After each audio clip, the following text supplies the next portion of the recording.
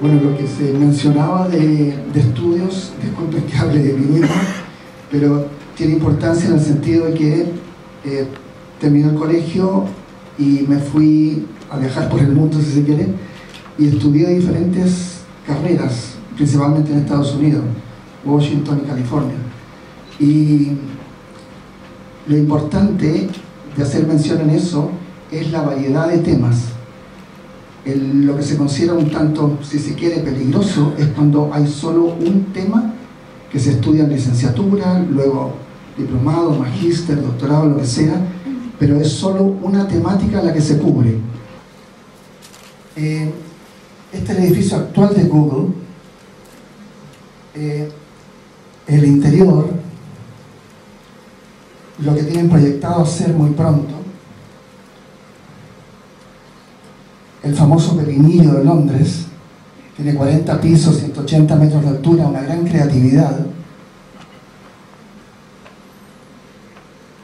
Apple, el que partió diseñando Steve Jobs y que tenía semejanza con un platillo volador tipo ovni, y el eh, Silicon Valley, que va de la ciudad de San José y ahora llega hasta San Francisco. ¿Por qué menciono todo esto? Ya que no porque uno cambie la estructura física, lo externo, va a cambiar una empresa, una institución, sea pública o privada. Se requiere que la persona cambie. Y salvo que se trabaje en eso, la institución va a ser la misma. Una institución no es como institución, sino que depende de quiénes son las personas, cómo están internamente y desde allí cómo se comunican con el resto. Y cuando hablo de personas me refiero a los cuatro aspectos, lo físico, mental, emocional y espiritual. El que generalmente eh, queda en deuda, por así decirlo, es el emocional, del cual nadie se preocupa ni siquiera la psicología, sociología, antropología, etc. Sino que eh, es algo que incluso se teme. Como peligroso meterse ahí porque es un pantano en el cual nadie quiere entrar. Pero al estar eso no considerado, entonces la persona queda, por así decirlo, cojeando de una pata. Es una mesa de cuatro patas en la cual generalmente el emocional es la pata coja. Y se relaciona con eso con la psiconeuroinmunología, que puede parecer una palabra muy complicada o qué sé yo, pero es bastante sencillo. Es básicamente cómo la mente, eh, lo mental y emocional afecta al sistema neurológico, que es el cableado del cuerpo. Y hace poco en una conferencia que di en la Católica, eh, tuve que investigar cuánto medía el sistema nervioso. Y realmente me complicó porque no lo podía encontrar tipo promedio se consideran 72 kilómetros de fibra óptica, por llamarlo de alguna manera, que tenemos en nuestro cuerpo, lo que nos permite mover las manos, pensar, todo el funcionamiento completo. Y eso a su vez, entonces, mental, emocional, afecta al sistema neurológico y eso a su vez el sistema inmunológico. Y a eso se refiere la psiconeuroinmunología, que se trabaja mucho en Europa y Estados Unidos, está llegando a Chile. Eh, y se busca, como dicen ahí, la conjunción complementariedad de saberes y tecnologías. Lo mismo ocurriría, es así con la inmunología, en una institución. Si no están todas las partes eh, comunicándose en conjunto y relacionándose entre sí, van a haber problemas de, de comunicación. El flujo que debe tener esa institución queda atascado. Eh, el doctor en física Fritjof Capra, que él partió estudiando, eh, hizo sus estudios en, la Universidad de Viena y después hizo investigaciones en París, Londres y se estableció en, Berkeley, California, eh, plantea que a principios de 1930 se dio en Europa una etapa de diálogo muy profundo entre biólogos, psicólogos y ecólogos. Todos estudiaban sistemas vivos, individuos, sistemas sociales y sistemas ecológicos y todos intentaban entender la naturaleza fundamental de la vida. Para describir un sistema vivo es fundamental la relación que se establece entre las distintas partes de ese organismo. tanto los físicos como los que se dedicaban a las ciencias de la vida, llegaron a la misma conclusión. Para analizar cualquier situación necesitamos basarnos en las relaciones, los contextos y los procesos. Si no vemos el gran mapa, no sacamos nada con ver una ciudad o un país, sino que ver cómo todo afecta a todo. Hay una exposición en el Centro de, de, Arte en Cerrillos eh, de los Strandbests, que en holandés quiere decir animales de playa. Y, es lo, menciono a él, además que es, bellísima la, exposición, eh, la fui a ver el domingo pasado con un grupo de gente, y este señor, eh, Theo Jansen, que aparece ahí, eh, él, él, es físico, y luego de estudiar física, estudió arte, que son dos disciplinas que uno diría jamás irían juntas. Pero justamente de eso es lo que estamos hablando de hacer conjunción, complementariedad en eh, disciplinas que normalmente no tienen relación una con otra. Y se refiere a los hemisferios cerebrales, que si no están los dos muy bien conectados, a través de lo que se suele llamar el cuerpo calloso, entonces no hay complementariedad interhemisférica. Y al ocurrir eso hay todo tipo de trastornos. Y él dice, los tubos plásticos entraron en mi vida en 1990 en un lindo día de septiembre. Desde entonces los animales de playa han gobernado mi vida. De ahí voy a mostrárselos para que sepan de qué está, hablando él. Se convirtió en una adicción, una enfermedad.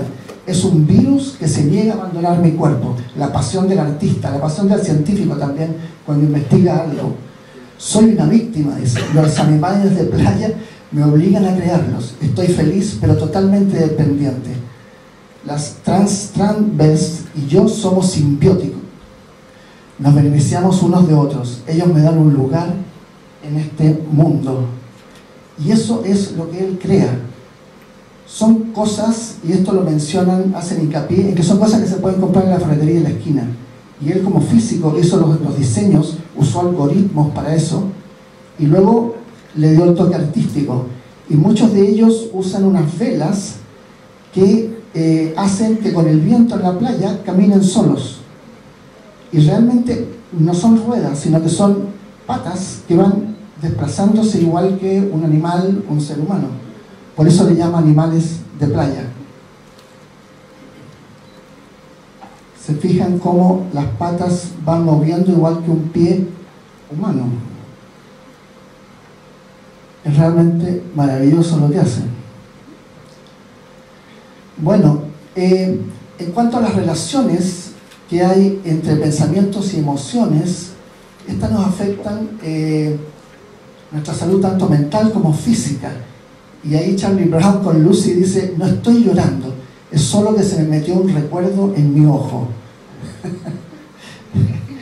Y luego en el teatro kabuki, que es el teatro japonés, ellos en vez de expresar emociones como estamos acostumbrados nosotros en el teatro, televisión o cine, eh, se ponen máscaras, la máscara de la pena, la máscara de la rabia, la máscara de la alegría.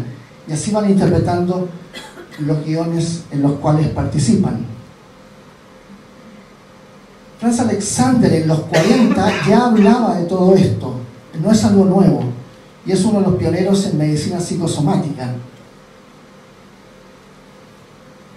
Y el padre de lo que llamamos estrés, que ahora es una palabra que todo el mundo usa, es Hans Selye, también en la época, eh, la misma época que Franz Alexander, en los años 40. Y la palabra estrés en realidad eh, no tiene una connotación negativa, aunque generalmente se usa así, sino que se refiere, está el positivo, que es el eustrés, que se podría llamar como energía vital, y el distrés, que sería el negativo, y que es una mala adaptación, en el fondo, que interrumpe el balance fisiológico interno, lo que normalmente llamamos homeostasis. Pero si la persona tiene una respuesta positiva o adaptacional a este estrés, se transforma en crecimiento fisiológico. Eh, entonces es una forma de crecimiento que la persona tiene un enriquecimiento personal ante una situación potencialmente estresante. Depende de cómo eh, manejemos eso. De allí viene el tema trauma. El trauma en sí no tiene un valor per se, sino que si, tenemos 10 personas, y hay numerosos estudios en esto, y un mismo evento afecta a esas 10 personas, vamos a tener 10 reacciones diferentes. Desde el que queda muy traumado, por usar el término en general, hasta el que casi no le afecta, y todos los puntos intermedios. Entonces no es tanto lo que me ocurre, sino que cómo yo interpreto lo que me ocurre, que me puede causar daño o al revés, incluso beneficiarme con eso. Y ahí vienen los tipos de personalidad. El tipo de personalidad A es altamente competitivo, siempre anda rápido, eh, suelen ser hostiles, eh, y esto se asocia a enfermedades coronarias en general. Y claro, tenemos a Michael Douglas en la original Wall Street, y luego a Leonardo DiCaprio en El Lobo de Wall Street. Y claro, terminaron muy mal ambos por lo mismo. La ira de las mujeres ¿ya? es un tema que se ha estudiado también y es muy interesante. Eh, Patricia Manhol señala que las mujeres, que esta ira de las mujeres es transformada en una condición, entre comillas, aceptable por razones culturales es mal visto en una sociedad, una cultura patriarcal, que la mujer se enoje, así como es mal visto que el hombre llore. Entonces los dos cogíamos una pata, diferente, pero los dos andamos cogiendo. Y es el problema, porque en lenguaje concreto, la ira no reconocida enferma a las mujeres. La ira es transformada en una condición aceptable. Decíamos que la expresión de ira a una mujer en una sociedad patriarcal machista no es bien visto. Entonces lo transforma en una enfermedad y eso sí está bien, entre comillas por supuesto. La condición aceptable es tratada, la ira no ha sido solucionada, ya que nunca se tocó el tema, la condición aceptable retorna. Entonces ahí viene lo que comúnmente llamamos recaídas, porque nunca se fue la causa del tema. Y señala que la expresión oral con emoción es esencial, o sea, esos, esos ataques de ira en cierta forma aunque pueden ser desagradables para muchas personas, pero libera esa energía tóxica. Y de forma ruidosa, dice, parece descargar esta energía tóxica. Hay estudios sobre el tema del humor. Y Norman Cousins, un famoso investigador en, en psiconeuroinmunología justamente, trabajó por muchos años en la Escuela de Medicina de la UCLA, la UCLA, la Universidad de California en Los Ángeles.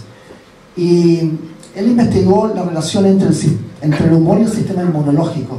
Y hay una investigación muy famosa que se hizo allá, en la cual tenían, por ejemplo, 30 camas en esta ala del edificio del hospital y 30 en el otro.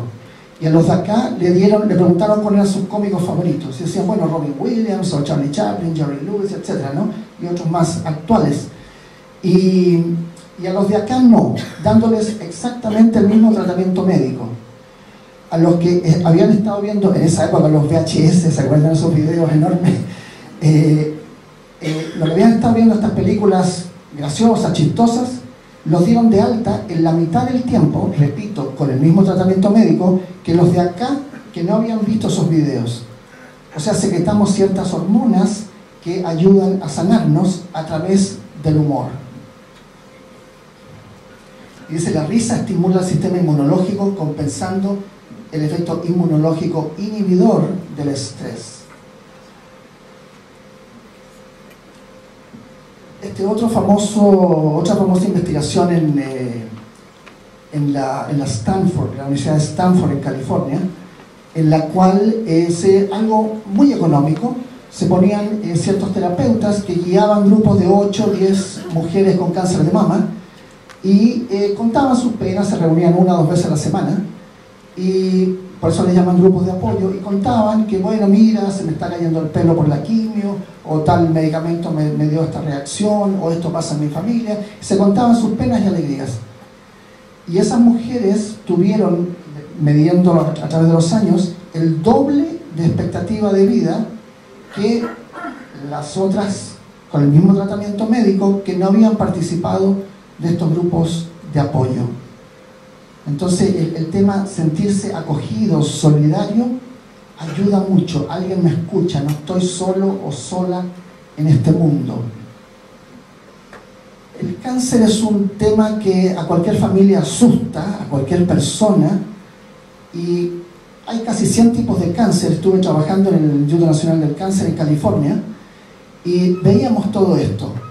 Y el doctor O. Carl Simonton, eh, él eh, a 17 años, 17 años de edad tuvo cáncer y lo superó.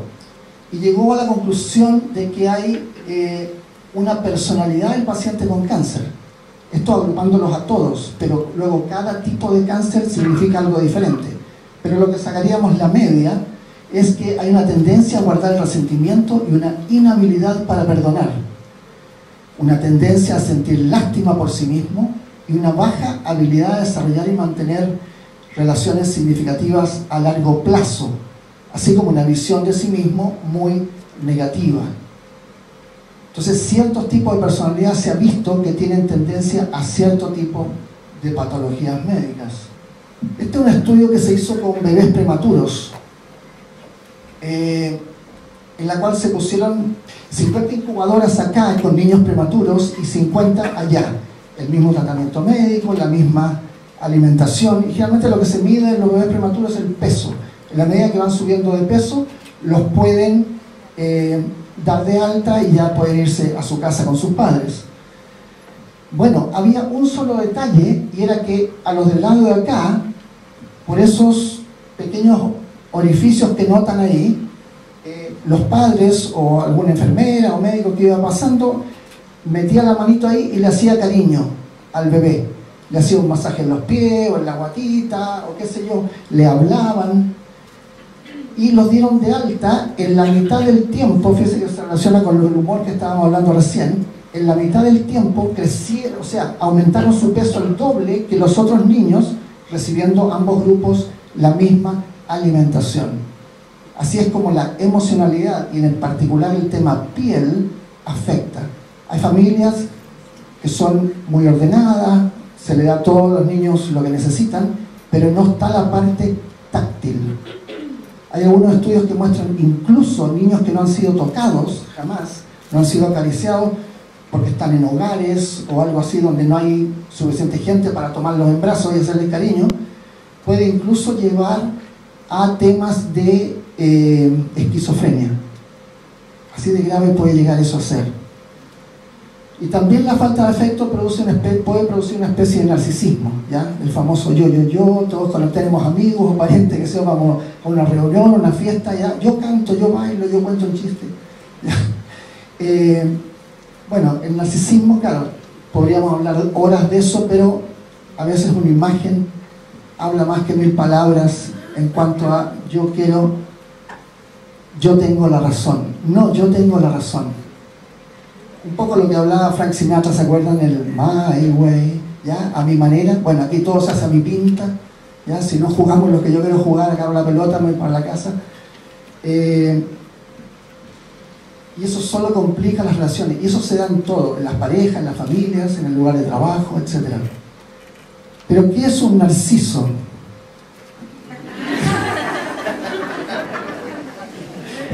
Fotógrafo estaba quería tomar a los pingüinos. y no, no, no, no, yo salgo en la foto. Eso resume lo que es narcisismo. bueno, eh, y también eh, volviendo a Sinatra con el My Way, yo quiero ir a comer a este lado, el otro dice, no, yo quiero comer a este lado. ¿Qué pasa? Ninguno de los dos come. ¿Qué hacemos? ¿Ok? Vamos juntos. Lo que el señor director hablaba de el, trabajo en equipo, ¿verdad? Hagámoslo juntos acá y después acá y es lo que se suele llamar una win-win situation, ¿verdad? Una situación de ganador-ganador. Entonces los dos nos beneficiamos, pero colaborando. ¿Y la ciencia moderna, de dónde viene? Bueno, se habla de de Descartes y Newton, que es el siglo XVII, hace un rato, de los 1600. Y eso es lo que se suele llamar eh, ciencia moderna objetiva o cartesiana. Objetiva, o sea, es así sin importar qué ocurre. En todos los casos se considera eso como una ley. Pero luego vino la física cuántica, que ya tiene más de un siglo, aunque se estudia poco en las universidades, se enseña poco, quizá es porque revoluciona los conceptos al postular la ciencia subjetiva. O sea, ahí a los científicos tradicionales se les paran los pelos, porque ¿cómo la ciencia puede ser subjetiva? Dice, el observador modifica lo observado, es decir, tiene la capacidad de crear su propia realidad. Algunos estudios con partículas mostraban que cuando los investigadores se acercaban, las partículas comenzaban a actuar, se iban y las partículas dejaban de actuar. Es como la mamá cuando llega y los niños se ponen a hacer tareas, se va la mamá y vuelven al PlayStation o lo que sea que están jugando.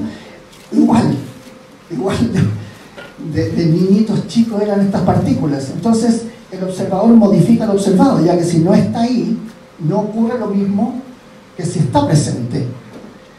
Por lo tanto, no es un mero espectador, tiene un poder interno que lo capacita para cambiar su cuerpo, su destino, su vida. Entonces, está en mí eso, depende si es que lo quiero utilizar o no. Hay un señor que se llama Masaru Emoto, japonés, eh, y él en realidad estudió eh, diplomacia él iba a ser embajador y eso. Y un día descubrió el agua. Así de sencillo. Eh, y quedó fascinado y dejó todas sus cosas diplomáticas por lado y se decidió a investigar el agua. Y llegó a la conclusión que una simple frase, emoción o pensamiento puede cambiar la estructura molecular del agua. Ya que no se puede decir, ya, pero eso a mí que no importa. Que somos entre 70 y 90% agua, depende cómo se mida por lo tanto sí se relaciona con nosotros mismos. Lo que pensamos, sentimos, escuchamos y decimos nos cambia nuestra estructura molecular, causando sanación o enfermedad. Tenemos memoria celular. Nuestro cuerpo recuerda sus vivencias, así construye tejidos, órganos, sanos o no. Y ahí ya Cousteau el agua de mar de mis células reacciona, recordándome que soy mar y ahí está Masaru Moto con los microscopios electrónicos. Ellos congelaban moléculas de agua y luego las ponían en estos microscopios electrónicos tomaban fotografías. ¿Y qué es lo que veían en estas fotografías? Ese es algo formado por el agua de forma espontánea. Es agua pura de un río. Cuando bajan recién de las montañas, no ha sido contaminada con nada y produce esas imágenes. Ahora, el agua contaminada de manera espontánea hace eso, esas figuras, a nivel microscópico, son microscopios electrónicos. Descubrieron que eh, muchas gracias era quizá la palabra que producía imágenes, eh, formaciones más hermosas, digamos, más artísticas en cierta forma. Eh, y algo descubrieron en Londres, hicieron un estudio con personalidades psicopáticas, lo que comúnmente llamamos psicópata, ¿verdad? Y esas personas, lo que, una de las características es que no tienen compasión, no tienen empatía. Entonces les cuesta sentir el dolor del otro. Por eso les pueden causar dolor y no les afecta en lo más mínimo, al menos en la superficie. Hicieron estos estudios y descubrieron que estas personalidades eh, psicopáticas no podían decir muchas gracias. No iba con ellos. Porque hay un alto narcisismo en la personalidad psicopática. Por lo tanto, ¿por qué tengo que llevar las gracias? Todos me deben servir, me deben rendir pleitesía, etc. Yo soy el Señor del universo. Entonces, al verse así ellos, dar las gracias no les cabía. ¿De qué estamos hablando? Llevándolo a algo más concreto todos los edificios, los puentes, eh, etcétera, que se construyen, primero parte de una idea, y esa idea relacionada con una emoción. Y eso lo hace el arquitecto, que antiguamente lo hacían en planos de papel, hoy día va todo computarizado, AutoCAD o diferentes software que hay para eso. Entonces, la arquitectura parte de un pensamiento, de una idea sobre cómo será una construcción en particular, para luego pasar a lo físico, lo orgánico, en donde el constructor instala materiales diversos que siguen los dictados de la idea original, ¿verdad? Así generalmente se hace un edificio. Es lo que el cuerpo realiza en su proceso de somatización, soma, cuerpo, ¿verdad? Al transformar pensamientos y emociones en elementos orgánicos. Entonces lo que nos están diciendo es que de esto, ideas y emociones, pasamos a esto, que sería el cuerpo. Uno dice, ya, pero ¿cuál, ¿qué importa si la empresa, si la institución pública o privada se queda en el ayer? Bueno, podemos dar datos concretos. La IBM, que era un cuasi monopolio mundial en cuanto a hardware y software, eh, en el año 93 anunció pérdidas, que en esa época fue algo totalmente un récord histórico, de 8 mil millones de dólares. ¿Y qué ocurría? Que era muy de la vieja usanza cómo funcionaba culturalmente esa empresa. Era del estado de Nueva York, 320 mil empleados, imagínense lo que es eso, un monstruo. Eh, y estaban compitiendo con los chicos del Valle de Silicon Valley. ¿Se acuerdan que al comienzo vimos el mapa? Desde San José a San Francisco. Bueno, chicos en zapatillas, t-shirts, dormían debajo de, en colchonetas debajo de los escritorios, etc. Con ideas nuevas y trabajando mucho el software sobre todo. O sea, lo sutil, aquello que no se ve pero que sí está. Y eso no le cabía en las mentes a la gente de IBM. empezaron a perder el territorio y llegaron a perder 8 mil millones en un año. Eh, IBM hizo un cambio cultural. Dijeron, no, claramente no podemos seguir así, vamos a la quiebra.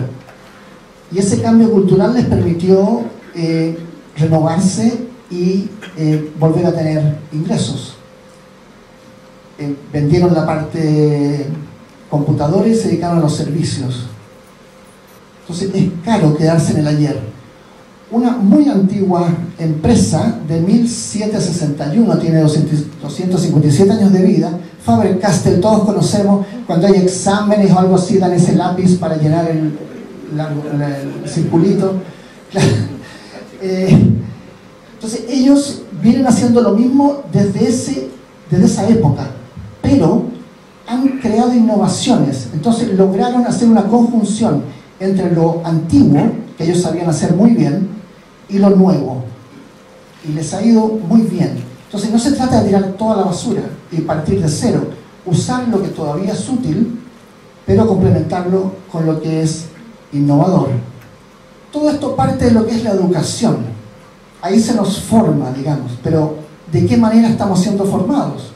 Bueno, ahí está el problema.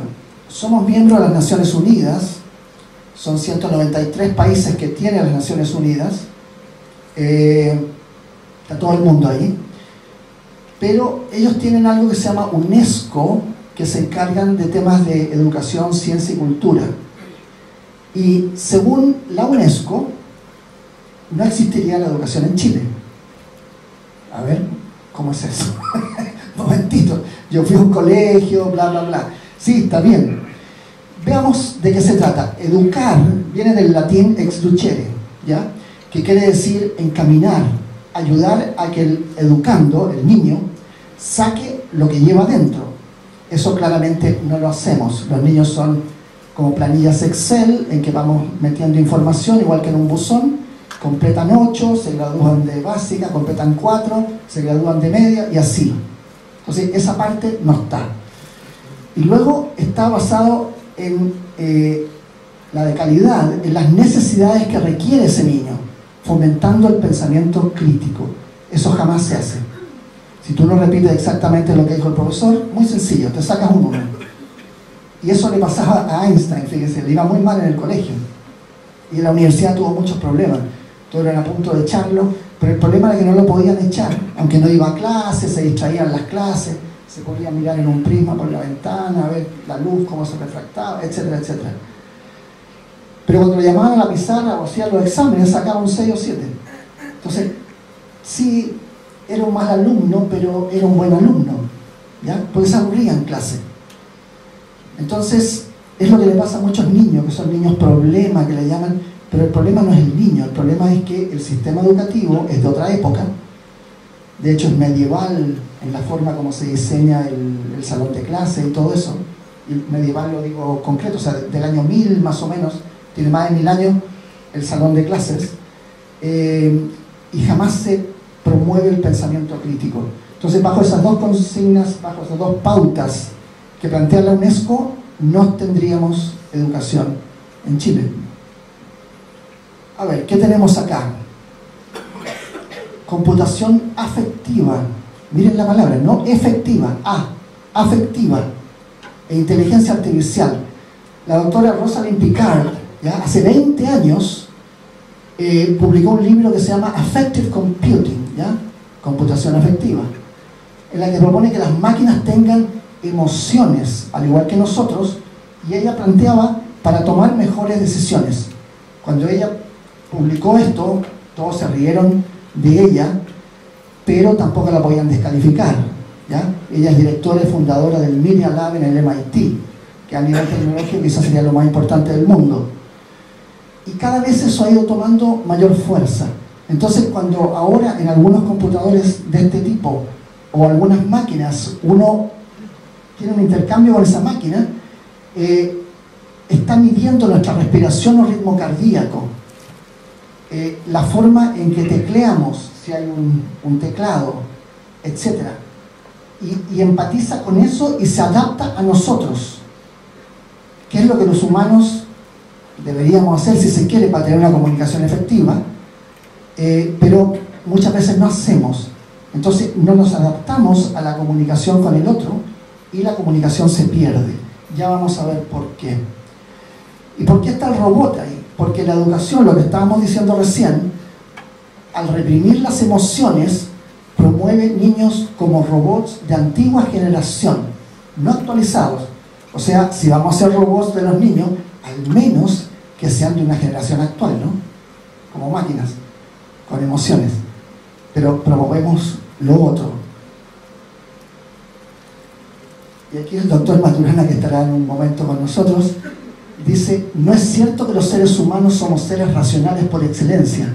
Somos, como mamíferos, seres emocionales que utilizamos la razón para justificar u ocultar las emociones en las cuales se dan nuestras acciones. Entonces estamos con la intelectualidad tapando nuestra emocionalidad. Eso lo dice en el sentido de lo humano en el año 91. Y uno dice, ya, pero ¿cuál es el problema? El problema es que la comunicación es 80% emocional y solo un 20% racional. Por eso que hay cierta gente que cuando habla nos llega y otros que pueden estar diciendo cosas muy importantes, muy interesantes, de alguna manera el mensaje no se transmite y es por esa falta de emocionalidad. ¿Y qué dice el gran Pablo Picasso? Todos los niños nacen creativos hasta que entran al colegio. Y ahí bye bye creatividad. Entonces, promovemos los niños que sean todos iguales, tal como hacemos con la leche homogeneizada. ¿Han escuchado esa palabra? ¿Se acuerdan? Ahora parece que no sabe mucho, pero la leche no es blanca. pero cuando uno la va a comprar es blanca. ¿Qué pasó?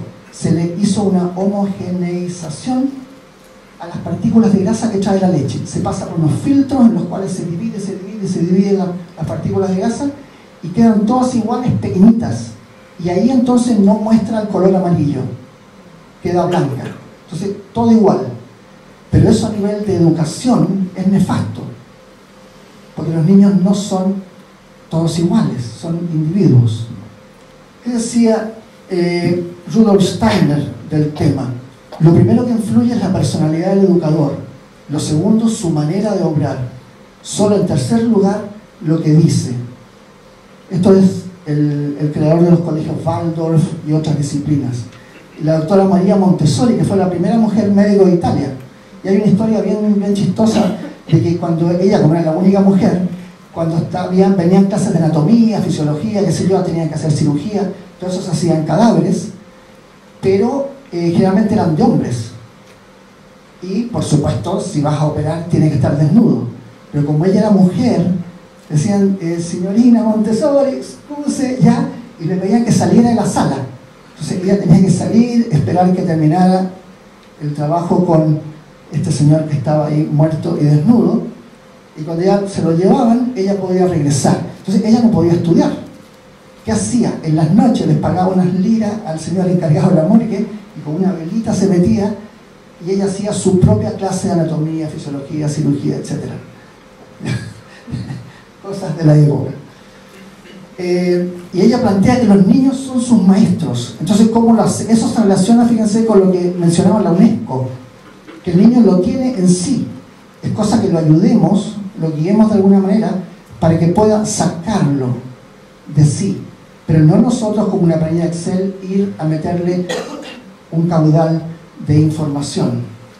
Entonces, en relación a salud mental, ¿qué decía Einstein? Locura es hacer lo mismo una y otra vez y esperar un resultado diferente. Uno dice, sí, obvio, obvio, pero no tan obvio. Generalmente así funcionan las instituciones, públicas o privadas, da igual, cualquier color político, ahí no me meto. Repiten lo mismo una y otra vez como disco rayado. Y nosotros como personas, tanto en lo individual como en pareja, familia, social, etc., también hacemos lo mismo. Y lo mismo que hacía el bisabuelo, el abuelo, el padre, que son los padres y nosotros. Y eso se transmite también a los hijos y nietos. Entonces la pregunta puede ser, bueno, ¿a qué venimos a este mundo si no vamos a evolucionar, verdad? La doctora Candace Pert eh, fue la primera mujer que, que logró moléculas de la emoción. Fíjense lo raro que suena eso. Y ese es el título de su libro, ella falleció joven, desgraciadamente, hace poco, en el 2013. Eh, y, ella dice, los psicólogos tratan a la mente como si no tuviera cuerpo y los médicos tratan al cuerpo como si, no tuviera pensamientos ni emociones. Y hay una gran división cultural entre Occidente y Oriente en cuanto a cómo vemos a la persona. Esto se ve muchas veces en terapia, por ejemplo, en, en terapia en Japón, se considera al individuo como inserto dentro de una comunidad. Entonces le preguntan cómo estás tú y luego cómo estás tú en tu comunidad, no solo familia, sino que los vecinos, tu compañero de trabajo, etc.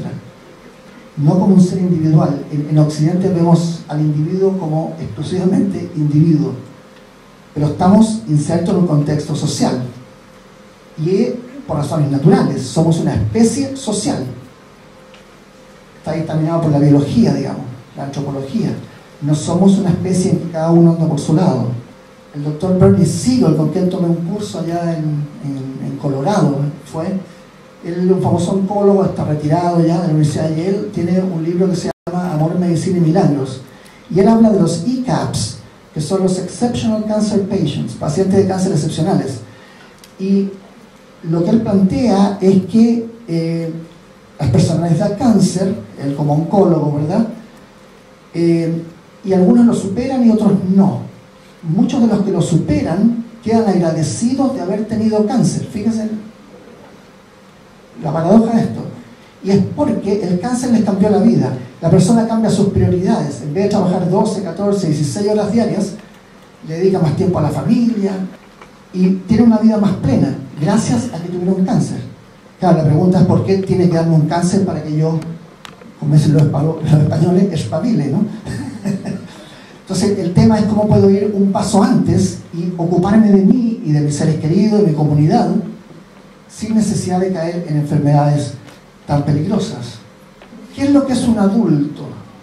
Una de las definiciones que usamos es alguien que es 100% responsable de lo que ocurre en su vida. ¿Vivimos así? Claramente no, es cosa de ver las noticias, no importa el color político, insisto, nadie es responsable de nada. No, es que no me dijeron, no sabía, fueron ellos, eh, yo sabía que esto iba a pasar, pero miren, etc. ¿ya? Entonces, son comportamientos infantiles que no nos hacemos responsables. Bueno, relaciones de pareja, familia, laborales, sociales, para graficarlo, llevémoslo a la pareja, que es lo más sencillo de identificar, y cada uno puede ahí pensar en cuál está si en la pareja ella hace de madre y él de hijo, o si él hace de padre y ella de hija. ¿Sí? ¿Saben en cuál están? A veces llegan señores y me dicen, bueno, me dicen, tengo tres hijos, eh, Juanito y Pepito, qué sé yo. Ya, pero, eh, perdón, no soy experto en matemáticas, le digo, pero me dijiste tres hijos y me mencionaste a dos. Ah, bueno, y mi marido que es el hijo mayor. como, como hombres chilenos somos bien mamones, entonces tenemos la tendencia, hay en algunas parejas incluso él llama mami a, ella y así. Eh, y en otras es al revés, pero claro, la parte sana sería la línea horizontal, donde hay dos adultos. Pero el tiempo va pasando y ¿qué ocurre con el paso de los años? Bueno, dice, hace años tenía un montón de sueños, ahora lo que tengo es sueño y un montón de años. y luego dice, la próxima semana trabajaremos con el inconsciente. No, dice ella, no creo que mi marido quiera venir. Las cosas que dicen de nosotros, por Dios. Pero se da, se da. Ahí tienen mis datos. Hay una más que viene después, pero les quiero eh, dar mis datos. Eh, y el sitio web www.bladhuber.cl si quieren discutir alguno de estos temas más en concreto.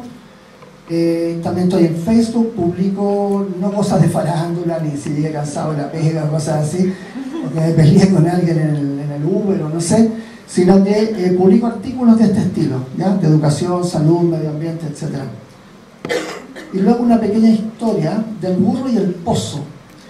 La vida nos entrega situaciones que a veces son eh, duras, son cosas que nos sacuden, nos, nos tiran para abajo.